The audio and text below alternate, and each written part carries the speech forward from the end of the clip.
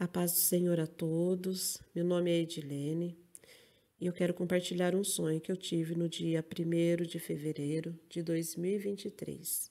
Amém? Então vamos ao sonho. Sonhei que eu estava sentado na varanda da casa da minha mãe com umas quatro pessoas. Uma era minha mãe, a outra uma tia que já é falecida e as outras duas eu não lembro quem eram.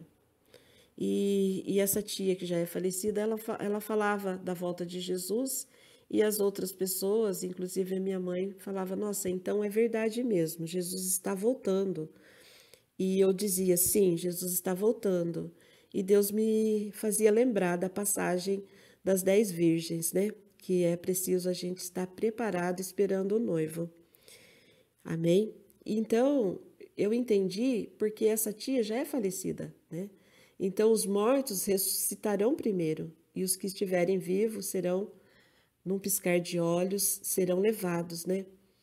Então eu acredito que é um tempo de muita preparação, da gente estar atento, da gente ter azeite para poder iluminar o caminho até a chegada do Senhor.